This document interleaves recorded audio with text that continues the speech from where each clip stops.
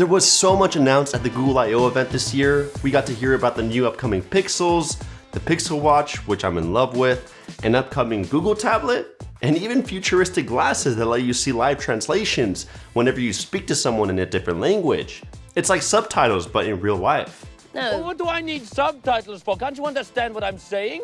Hell, even the second beta of Android 13 got released with a few minor improvements. But underneath all that commotion and noise, OnePlus silently released their first developer preview of OxygenOS 13, and no one seems to have noticed, or probably cared. But I cared, because I remember the good old days of OxygenOS, and I want that back. I even got some hope since OnePlus announced back in February that they were going to call off the merge between Oppo. So OxygenOS was going to remain its own software separate from ColorOS. They're only just developing on the same codebase. So with that in mind, I flashed OxygenOS 13 on my OnePlus 10 Pro to see if there were going to be any huge changes, and unfortunately, as of now, it still got Oppo software sprinkled everywhere. But you know what? It's barely the first release, so I'm going to cut them some slack.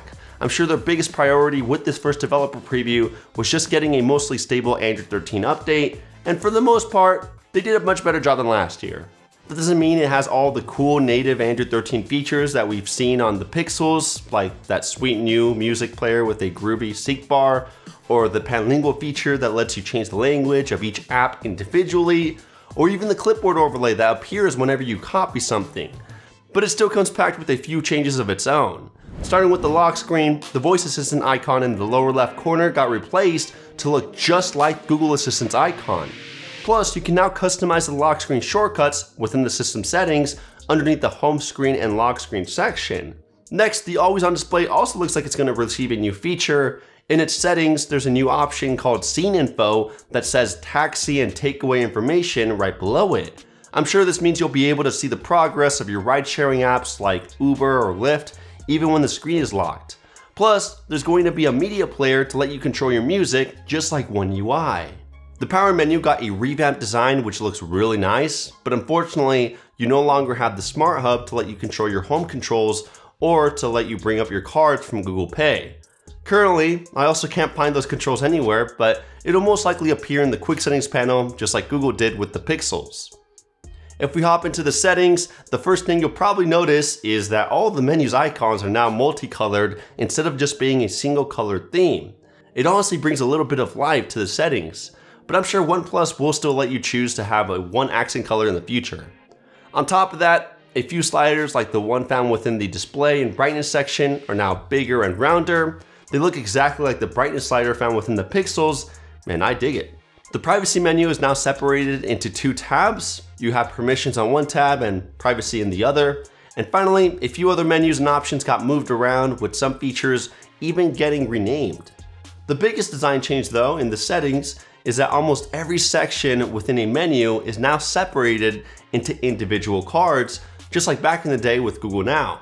And it's a lot more noticeable when you have the dark theme enabled. I love it because it makes everything look a lot cleaner and organized.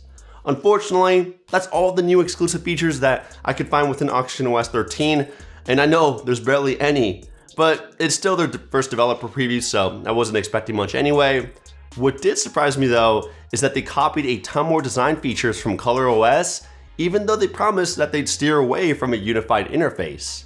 For example, the notifications and status bar section now look exactly like ColorOS's menu, from the wordings down to the design. The only new addition that OnePlus included is that they allow you to customize the app icon badges. In other menus like when customizing the status bar, OnePlus has also copied over uh, ColorOS's secondary icons. Then within haptics and tones, you'll see a video from Oppo showing off how to use the feature. Hell, they even copied over their volume controls. The only thing I do like is that they brought over Oppo's RAM expansion feature where you can virtually expand the RAM by using extra space from your internal storage. But still, is this OxygenOS 13 or ColorOS 13? I'm not sure why OnePlus is digging their grave even deeper with these extra menus and features that are clearly from Oppo, especially since they've already heard all the feedback from the community with the release of Oxygen OS 12. I'm hoping that in the next update, they get a lot more unique and simple. And that's pretty much everything found within the first developer preview of Oxygen OS 13. It's currently only available for the unlocked OnePlus 10 Pro, but I wouldn't recommend flashing it because it's still extremely buggy and there are many apps and features that are broken. There's even a huge caution sign on the OnePlus forum page stating that there is a risk of breaking your device. So with that in mind, if you're still the 1% who want to flash it, I'll leave a link right below the like button to the zip file. Plus, on that same page, there are instructions to roll back to Android 12, so you should be just fine. Finally, I wanted to give a shout out to MSpy for sponsoring this video. If you're a parent, you probably know how nerve-wracking it can be to give your son or daughter their first phone. Sure, it's beneficial to stay in contact with them, but it also opens a gateway to other dangerous things.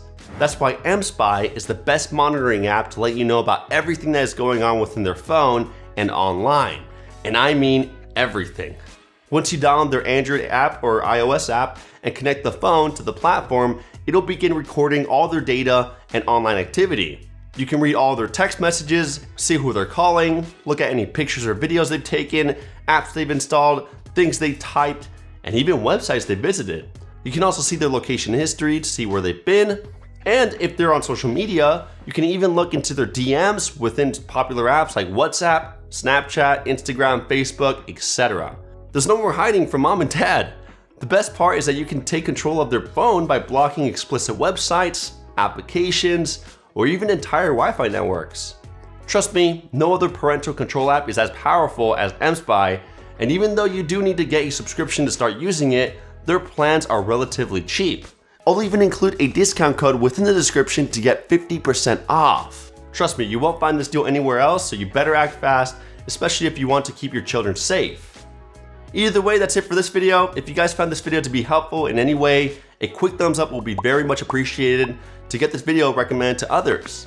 Be sure to also get subscribed with the notification bell turned on because quality videos like this are released on the weekly and you're not going to want to miss out. Either way, thank you for sticking to the end and I'll catch you in the next one. Kapow!